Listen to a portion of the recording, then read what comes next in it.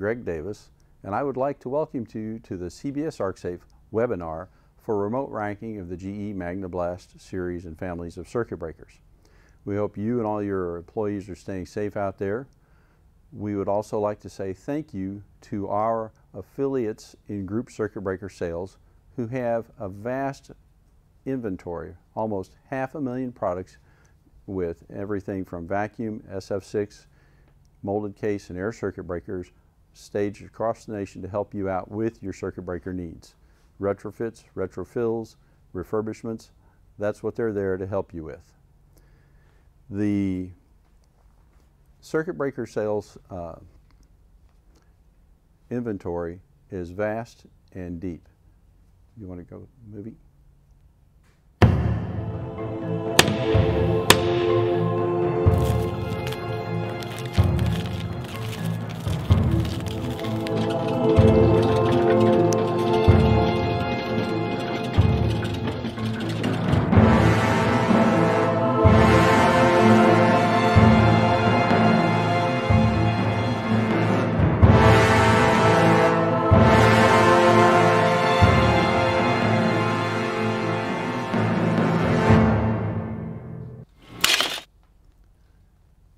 Circuit Breaker Sales CBS ArcSafe division work on the remote racking and the remote switching components to keep operators and electricians safe in their operational environment. In the NFPE or the NFP, NFPA 70E hierarchy, we fall into the engineering controls for taking care of people. We are two steps above PPE. With that in mind, we have the first thing to deal with on a circuit breaker is going to be remote switching. So let's say you've got a Magne Blast breaker. Well, gee whiz, do I want to come up here and go trip like this myself, standing right in front of the cubicle? I can tell you from personal experience in visiting many power plants within the United States, the highest arc flash hazard boundary I've seen on a Magne Blast cubicle is 386 feet. There may be higher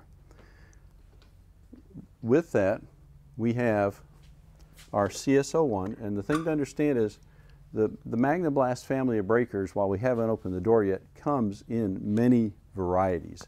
It, because these breakers were made from the mid-1940s up to today. You had a paddle defeat, and then what most people will have is the M26 or M36, either American or Canadian versions of the switchgear.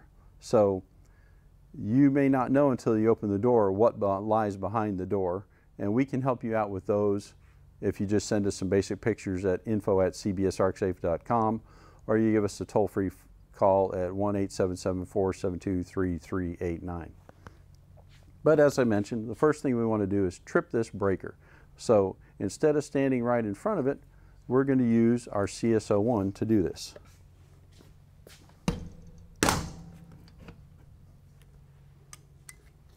Now I can be about 100 feet away when I remotely switch this breaker. I have to hit the enable button and then I'm going to hit my trip button and it's going to take care of tripping that circuit breaker. Now let's say you've got a problem with your control switch and you look at the front of the breaker and you say, gee whiz, now this breaker is actually open so it's not going to matter but Let's say that the breaker's still closed. I called a guy in Minnesota, no, no, North Dakota one time, and he was talking with me. On a peaker station, they had one where they had to, you know, use the bang stick. Now, my bang stick is just a, a broom handle for demonstrations today, but would you rather be in a suit going like this, or would you rather be able to be 25 to 30 feet away with an RSA 2 HD or maybe 100 meters away with it using the wireless option instead. So with this, I can quickly mount with our switchable magnets this right above the trip, turn this on, go to radio remote,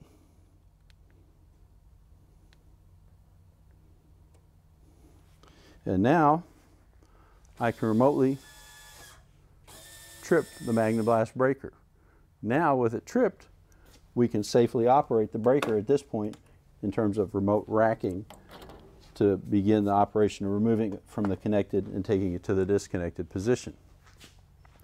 We have two options at CBS ArcSafe for remote racking of the GE Magne Blast family of circuit breakers if you're in the M26, M36 cubicles with clip-in motor mounts. And just so everybody knows, I'm going to show this real quick. We make replacement motor mounts. So these cubicles have some where the motors are bolted in and we make one that we fabricate locally which meets the GE cubicle specification that you can with just four bolts removed replace the factory bolt-in motor mount with a clip-in motor mount so that it now becomes adaptable to our family of remote racking systems.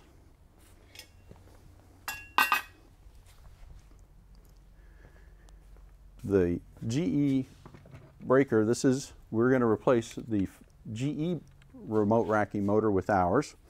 It's got an umbilical cord and it's got a clip up here for holding down the uh, latch at the front which puts control power to the micro switches and one of the things you're going to notice as we go through this you're going to see a micro switch indication on the CCM monitor telling you up and down position of the circuit breaker.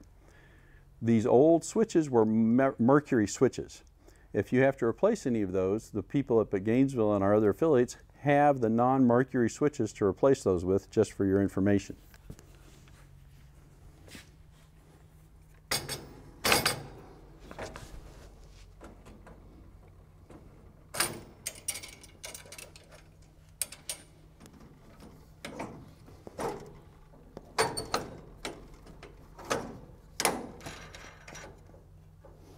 I've got the motor secured right now. Some of the other options you're going to notice is I'm going to put a tilt switch on here to begin with. And the tilt switch would notify the operator through an alarm on the console that the breaker is rotated 10 degrees in either front, back, left, or right position. So in case you have a gear that slipped in the cubicle and you're standing away from it, all of a sudden you start hearing a grinding noise, then you get the tilt alarm also at the same time you know that you've had a breaker that slipped and has a gear problem. And you'll want to stop the racking operation and reverse it and remove the breaker from the cubicle. We design it so that it does not stop automatically when the tilt switch alarms because we want the operator to at all times maintain control of the remote racking operation. With the GE Magne Blast cubicles, you can have five different control voltages, 48 DC, 120 AC 120 DC, 240 AC, 240 DC.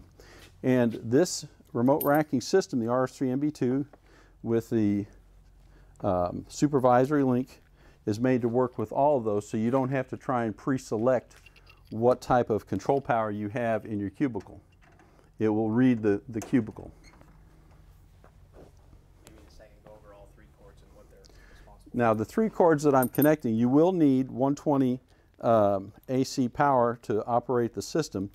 But the three cords are for three different things. The first one is here, this is a tilt switch. The second one here, which I'm connecting, is the motor. This comes in a standard 30-foot cable set. If you want wireless control, we'll send a 12-foot cable set, and the wireless control will take you out to 150 feet away from the circuit breaker. And this provides the power to the motor itself right here. The other one, which I plugged in first, is actually the, it's reading the control power and position of the circuit breaker from the cubicle's micro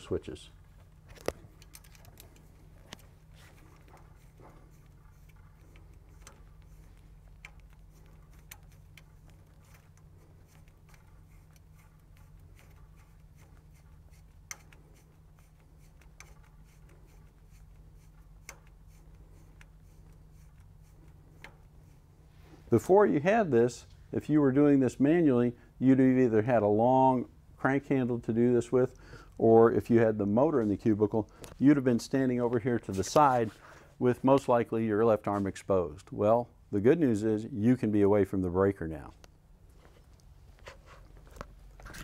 Now when we turn this on, you're going to notice on the display we've got type 1 and type 2. Type 1 is the one where the switch is on the motor for elevating and lowering the breaker. The type 2 is the one where you have a switch in the cubicle itself for lowering and raising. And so you have to be looking at this to go, okay, do I have type 1 or I have type 2? We, in this case, have type 1. When we turn this on, you're going to see initially that our tilt switch is alarming and it wants us to reset it because it's just been told, hey, I got power on, and so now it says I'm at level. And that's its starting point in this operation. And if I use the local and I hit remove, because we're in the connect position, it's going to lower it down.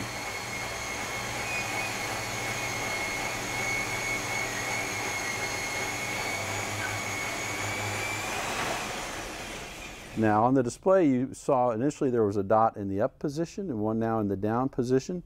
That's the lower cubicle switch, limit switch in the cubicle telling you that the breaker's in the down position. We're going to go to radio remote now and we're going to raise it back up. I'm going to step over to the other side of the screen so you don't see me operating anything uh, next to the RS3MB2 itself and we're going to assume that I'm uh, 100 feet away and we're going to hit the install button now.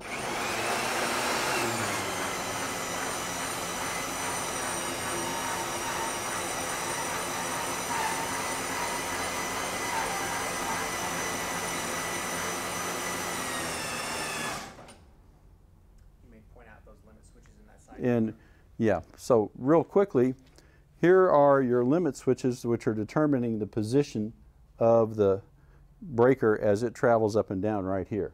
There's one other limit switch which you can't see which is buried in here that when you move the connection mechanism it sends control power to these for determining the up and down position. So there's actually a total of three of those in the system.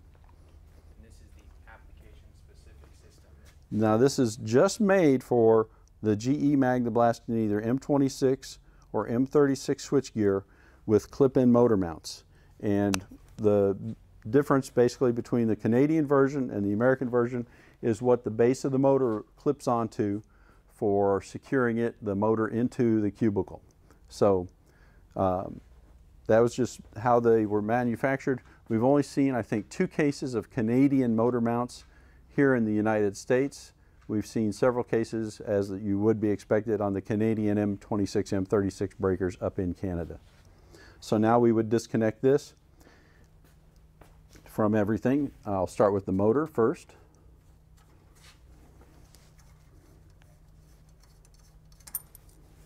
Remove the control power up here and remove our tilt switch. And you'll see over on the display that just because I move the tilt switch that the display has actually gone active with the tilt switch saying that this has uh, gone out of level. So we'll just hit the reset button there. And I'm going to move my cables out of the way. So when you deal with the remote racking systems, if you have more than just the GE Magne Blast type of breaker, you need something like our RS1, the universal system, which will do over 240 different types of rotary breakers that we've evaluated from around the world.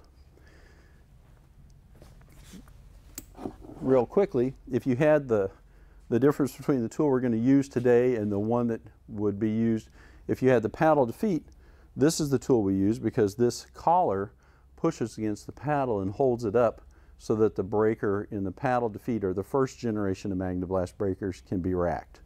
But now we're going to play with our M26, M36 version. And the first thing we're going to put in is a geared adapter to replace the motor.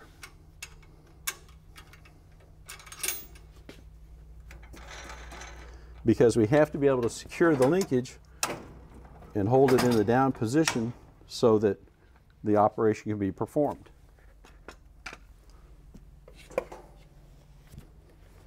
And you'll see that we have the same ability to clamp down on the linkage for the control linkage to make sure that it stays engaged and the micro switches stay engaged in the racking process. And you'll see that as we hook up the system.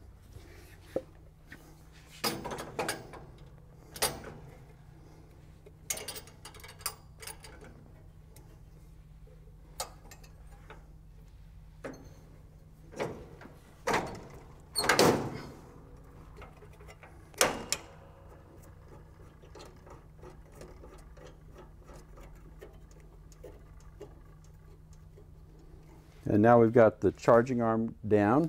We've got our motor our replacement, which is our gearbox in place. And now we'll move the RS1 over. The RS1, as I mentioned, is a universal system that can do over 240 different types of rotary racking mechanisms that we've looked at around the world. We have the same ability to read the control power in the cubicle with our supervisory link here.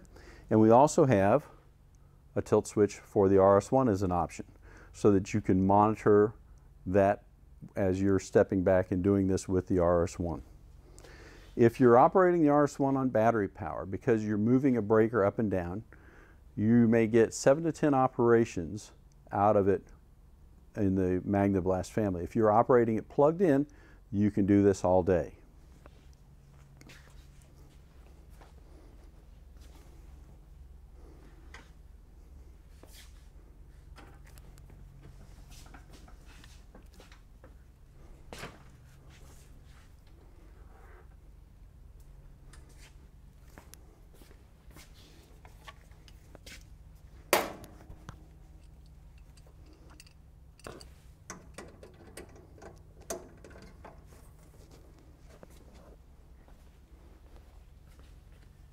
Maybe kind of explain steps. And what I've done is, the things that I've done is I first placed the tilt switch in position and I've zeroed out the tilt switch. I've hooked up our supervisory link. I've now turned the RS1 on. I've turned our brake release off. And it is already, you can't see this in the video, but you can see on my display here that I've got the up position on the indicator here for the uh, remote racking. Okay, so now I'm going to push it forward. Because it's a stationary racking mechanism, I'm going to simply lock down the foot latches and I will plug the unit in at this time for operation. Now, we can do this locally with the pendant control from up to about 30 feet, 30, 35 feet away, or we can also do it remotely and we're going to do one operation each direction with handheld and one with the uh, that wireless remote here. So we're on pendant now. I've got the up position indicated. And so now at this point, I just need to depress the down and it's going to lower the breaker. The RS1 is racking at a speed slightly higher than what you or I would do as a human being doing this. Now that's about 96 turns on the screw to raise or lower this circuit breaker.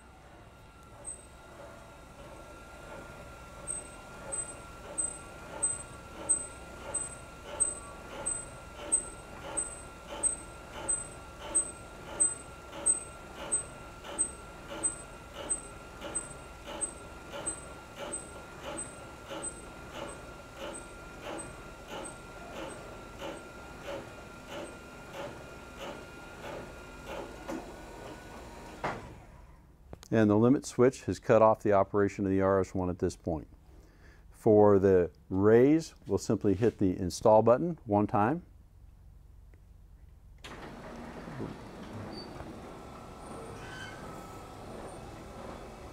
And now it's starting to elevate itself back up.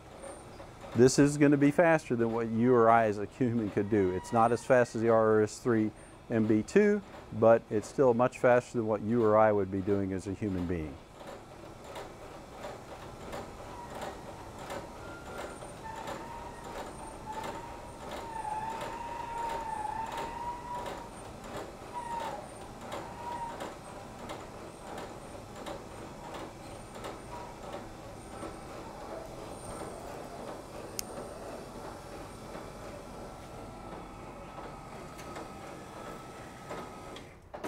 Now, I'm going to switch it over to radio control.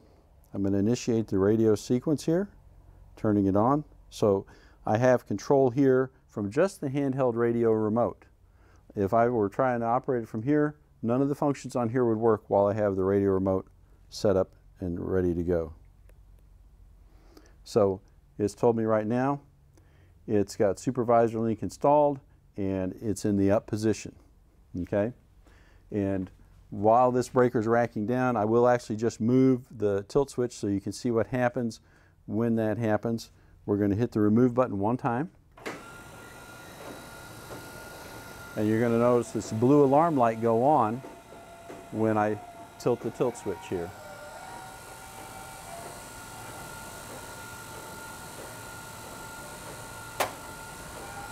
And it would stay in the alarm position. If I'm removing the breaker, I would just want to keep removing it if I've had the tilt happen because it's got to come down.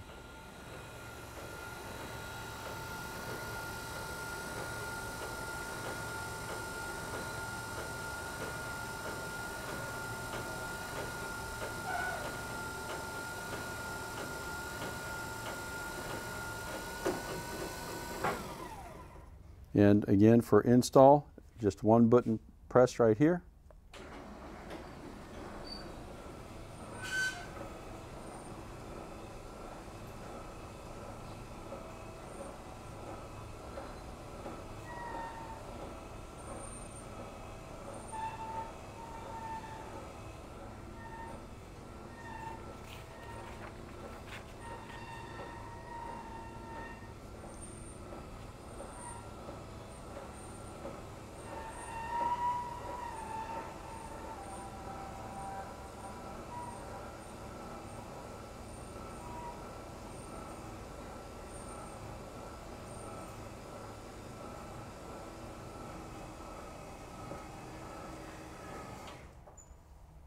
And that's the completion of the racking operation. We'd like to open the webinar up for questions at this time. So if you have some, please uh, forward them and uh, we will work to answer them. Again, the RS1 is the universal system that can do over 240 different types of rotary breakers.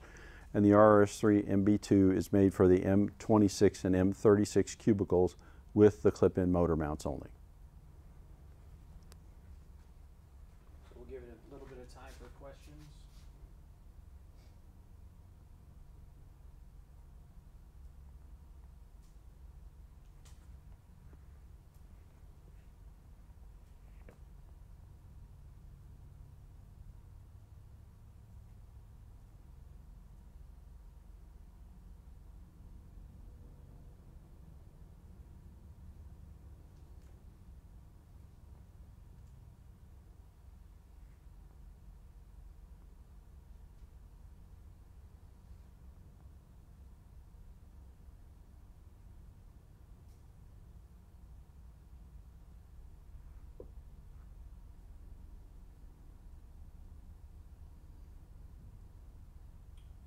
Yeah, nothing yet. Um, Okay, just a quick reminder for everybody, if you have questions, you can call us at 1-877-472-3389, or you can send us an email at info@cbsarcsafe.com. We would like to thank Gainesville and all of our other circuit breaker sales affiliates because they are the people who help provide us the switchgear to do the development, testing, and ship products to our customers to verify and make sure that we're getting the right things to the right customer to help them out.